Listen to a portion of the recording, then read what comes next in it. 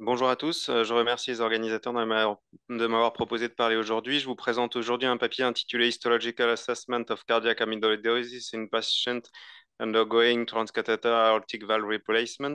C'est un papier publié dans l'ESC Heart Failure Journal de 2024 par l'équipe de Beutner, une équipe allemande de Göttingen. Euh, en introduction, on constate de plus en plus souvent euh, et on fait le diagnostic de plus en plus fréquemment chez les patients qui vont avoir un TAVI ou qui ont une sténose aortique serrée, euh, l'association d'une amylose cardiaque. Je vous ai remis à droite un petit peu le, quelques papiers avec les prévalences d'incidence d'amylose chez les patients qui sont adressés pour des chirurgies. Euh, la colonne verte, c'est chirurgie cardiaque avec prélèvement histologique 6% d'amylose. Les deux colonnes bleues du milieu, c'est des patients qui étaient adressés pour des TAVI euh, qui ont bénéficié de scintigraphie systématique, une prévalence entre 12 et 16%. Et le dernier travail, c'était des patients qui étaient évalués pour des sténoses aortiques pas forcément serrées, euh, qui bénéficiaient de manière protocolisée systématique d'une IRM à la recherche d'amylose et retrouvaient 8% de, de prévalence. Les difficultés chez ces patients, c'est qu'il y a de nombreux patients qui ont des sténoses aortiques serrées et que dépister tous les patients d'une amylose euh, est compliqué en pratique. D'une part, les anomalies sont parfois communes entre les deux maladies, l'hypertrophie ventriculaire gauche, euh, cardiaque sont communes aux deux. L'aspect d'apical sparing du strain qu'on retrouve dans le cas des amyloses cardiaques n'est pas spécifique et on le retrouve parfois sur des sténoses aortiques sans association d'une amylose. Et la disponibilité des examens selon les centres, euh, la, possibilité d'avoir une IRM ou une scintigraphie osseuse n'est pas toujours aisée.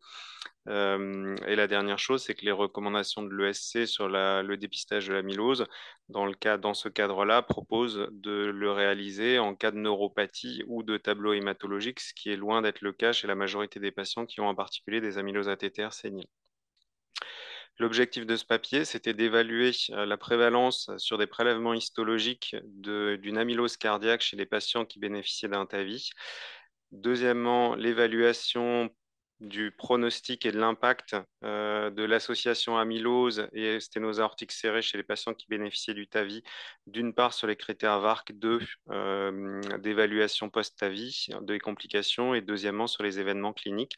Et troisièmement, il voulait euh, développer un algorithme qui permettrait de faire une présélection des patients chez qui il faudrait pousser les examens pour rechercher une amylose. En termes de méthode, c'est une étude monocentrique dans un centre qui a un gros volume de TAVI euh, à Göttingen en Allemagne. Les inclusions ont eu lieu entre 2017 et 2021 où ils ont euh, screené 400 patients sur leur cohorte euh, qui devaient bénéficier d'un TAVI pour une sténose aortique serrée. Le suivi moyen dans l'étude a été de 851 jours.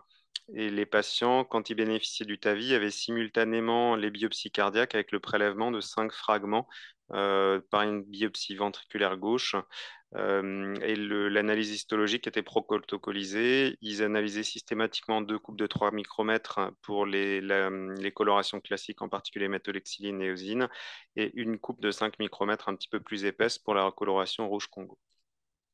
En termes de résultats, ils ont screené 1400 patients qui bénéficiaient d'un TAVI dans leur centre et ils ont sélectionné en tout cas des patients candidats pour la réalisation des biopsies, 400 patients.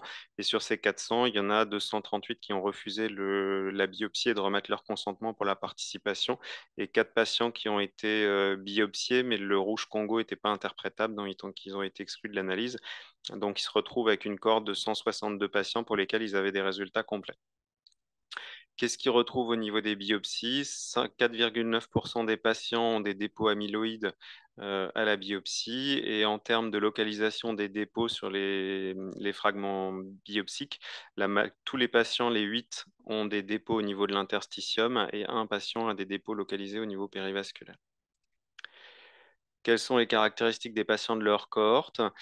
L'âge moyen des patients est de 80 ans, majoritairement des hommes avec 65%. Euh, sur les caractéristiques cliniques, vous avez cette colonne sur laquelle c'est les patients qui ont une sténose aortique serrée qui ont le TAVI. La deuxième colonne, c'est la combinaison avec les huit patients qui ont une amylose associée. On constate que les patients sont plus souvent en fibrillation atriale au moment du TAVI quand ils ont une amylose associée. Il y a une tendance qui est non significative, mais une tendance à ce que les patients aient plus souvent un dispositif implantable, que ce soit un PACE ou un défibrillateur déjà implanté par le passé. Les patients ont un une créatinine un peu plus élevée quand ils ont l'association d'une amylose avec un petit p qui s'approche de la significativité. Il y a significativement un taux de NT-proBNP plus élevé à 4400 quasiment de NT-proBNP en cas d'amylose associée, alors que le NT-proBNP des patients qui ont juste la sténose aortique est de 1900. Et sur les descriptions d'aspect de CG. Euh, la durée moyenne de DQRS est de 104 millisecondes dans le groupe euh, sténose aortique isolé et chez les patients qui ont une amylose associée, la durée est un petit peu plus courte à 95 millisecondes. L'index de Sokolov est plus faible chez les patients qui ont une amylose cardiaque associée, ainsi que le ratio euh, voltage sur masse, ce qui traduit l'aspect microvolté de ces patients. En termes d'analyse échographique, on retrouve dans le groupe de patients qui ont une amylose cardiaque associée à la sténose aortique un gradient moyen qui est significativement plus faible à 18 mm de mercure versus 38 mm de mercure en moyenne chez les patients qui ont juste la sténose aortique, avec un volume d'éjection systolique indexé qui est plus faible aussi, avec 25 ml par mètre carré pour le groupe d'amylose cardiaque. Euh, alors que le volume d'éjection euh, systolique injecté est euh, indexé de 33 ml par mètre carré dans l'autre groupe, ce qui se retrouve un petit peu plus loin ici, avec plus souvent des profils de rack serré avec un bas gradient, bas débit paradoxal.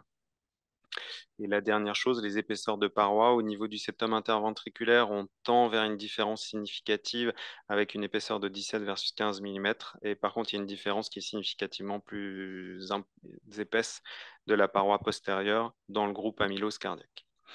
En termes de, de, complications post-TAVI, euh, sur les critères VARC, on retrouve des incenses rénales aiguës plus fréquentes, en particulier de classe 1, euh, dans la classification AKI.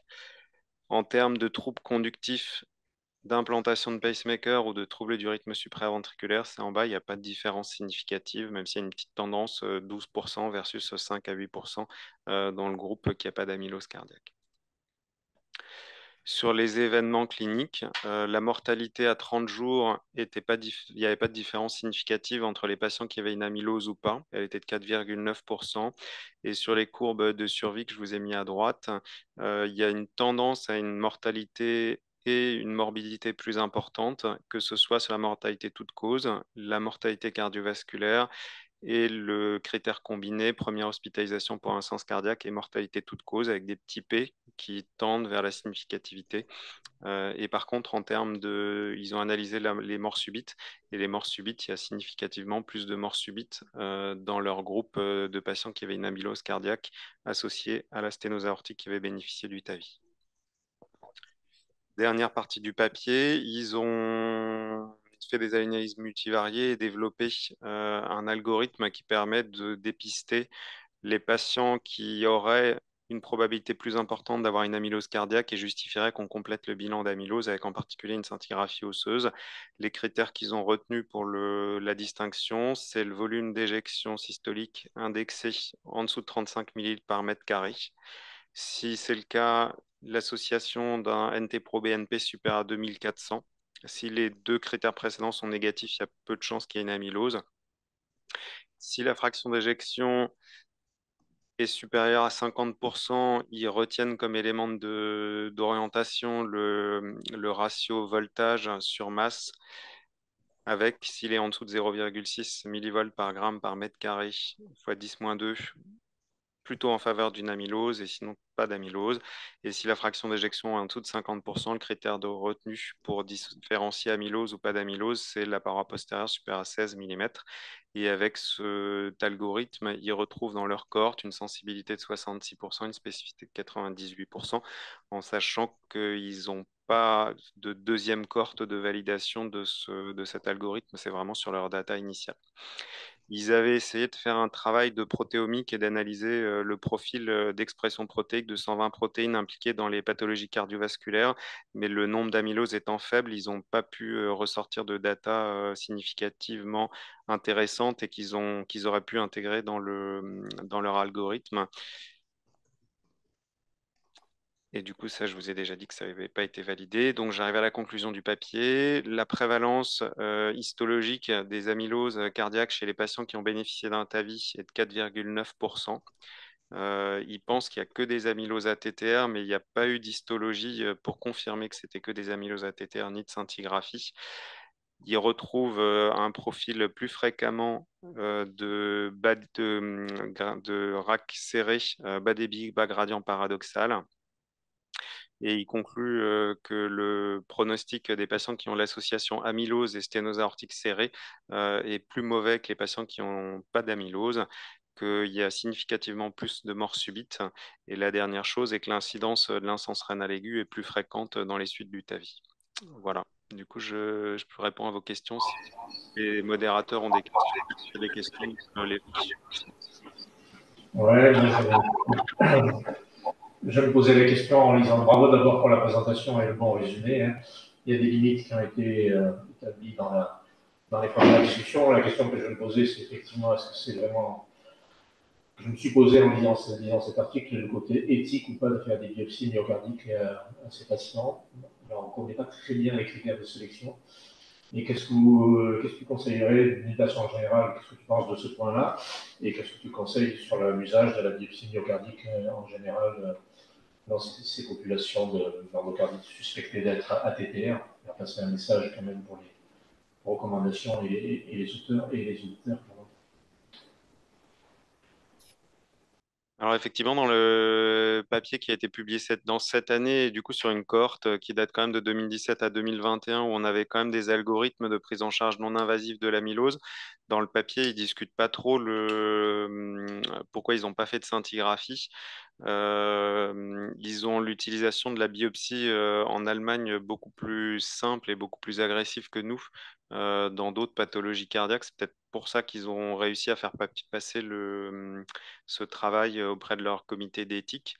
nous, en pratique, on a tendance à garder la biopsie chez les patients qui ont des scintigraphies positives avec présence d'une gamma-pathie monoclonale pour faire le diagnostic différentiel entre une amylose ATTR ou une amylose AL ou la combinaison des deux, et chez les patients qui auraient un tableau d'amylose sans scintigraphie positive ou sans gamma-pathie monoclonale qui serait du non-TTR, non-AL pour avancer dans le diagnostic. Il y a une question, du, euh, chat là, c'est euh, est-ce qu'il faut faire des scintigraphies à tous les patients qui vont euh, avoir recours à un TAVI? J'imagine que la, réponse ne sera pas positive. Est-ce que tu peux nous, donner des critères qui permettraient de, de demander ces scintigraphies En pratique, vu les volumes de ta vie, euh, je pense que ça va être compliqué et ça va quand même faire beaucoup d'examens pour une rentabilité qui est quand même pas très importante. Dans ce papier-là, ils retrouvent 5% hum, d'amylose cardiaque parmi leurs cohortes de ta vie. Et je remonte juste sur ma première diapositive, enfin ma deuxième d'introduction où je vous avais remis les publis on est entre 5 euh, et 15% de patients qui ont une amylose cardiaque qui bénéficient d'un TAVI. Ce qui peut expliquer un petit peu les différences entre les papiers, c'est en partie au moins l'âge, parce qu'il y a des cohortes, l'âge moyen était plutôt 75 ans et des cohortes avec une dizaine d'années de plus. Donc l'incidence augmentant avec l'âge, ça peut jouer un petit peu. Dans le papier, ils évoquent des modifications d'incidence qui peuvent être liées à l'origine, à la zone géographique dans laquelle se fait le travail et peut-être des impacts euh, environnementaux euh, d'épigénétique qui modifieraient un petit peu les dépôts d'amylose. Euh, pour en pratique, chez qui on dépiste une amylose avec des examens complémentaires quand les patients sont adressés en TAVI, il y a les critères proposés par, le, par cette équipe, hein, qui sont euh, les critères globalement, euh, si on devait choisir parmi les profils de RAC serré, euh, ceux chez qui rechercher, déjà ce serait plutôt les bas débit paradoxal, bas gradient, où l'incidence est probablement la plus élevée ceux qui ont les NT-Pro BNP les plus élevés. Et je, moi, j'utilise en pratique quand même pas mal les critères d'un autre papier qui avait été publié par Nietzsche en 2021, où ils avaient fait l'étude chez 400 patients qui bénéficiaient de TAVI, ils avaient fait des scintigraphies systématiques et ils avaient regardé un petit peu les critères associés à la présence de la de l'amylose. Et les critères qu'ils avaient retrouvés, eux, et qu'ils avaient utilisés pour développer un score clinique, c'était la présence d'un canal carpien, l'âge VG importante, l'âge avancé des patients, un profil mitral pseudo-normal ou trouble de la compliance, la présence d'un bloc droit ou d'un microvoltage et l'élévation de la troponine chez des patients stables, des troponines en plateau dans le bilan pré-TAVI. Hmm. en sachant que ce, cette équipe-là, c'est pareil, ils ont, ils ont développé leur score, mais ça n'a pas été validé dans un deuxième temps sur une corde de validation. Donc, euh, on a deux ou trois scores qui sont disponibles sans que pour l'instant on ait quelque chose de bien validé qu'on pourra utiliser de manière euh, scientifiquement, en tout cas solide, euh, en pratique courante. Je crois qu'il y a beaucoup de questions, mais on va être contraint de, de passer à la présentation suivante. Je ne sais pas s'il y a encore une dernière question. Peut-être juste Jean-Jacques, pourquoi est-ce que on, la prévalence paraît plus faible ici euh, que dans les séries antérieures? C'est assez surprenant, du coup, on est vraiment dans le- la prévalence la plus basse. Est-ce qu'il y a des, des explications fournies par les auteurs? Ce que discutent les auteurs dans la discussion du papier, ça serait des différences géographiques. Ok. Et ils vont pas beaucoup plus loin que ça. c'est effectivement assez surprenant. Et comme on n'a pas le, enfin, comme en plus c'est pas les les mêmes méthodes diagnostiques entre les différents papiers, on ne sait pas trop. est-ce que finalement la scintigraphie sera peut-être un tout petit peu plus sensible et, ou pas? Est-ce que l'IRM est différente? Est-ce que c'est des différences géographiques? Peu d'éléments pour répondre. Ok, merci. Merci beaucoup euh, pour cette belle présentation. Et donc, euh, sans plus attendre, on va passer à la présentation du docteur euh, Anne-Catherine Pouller, qui travaille à l'Institut cardiovasculaire Saint-Luc à Bruxelles.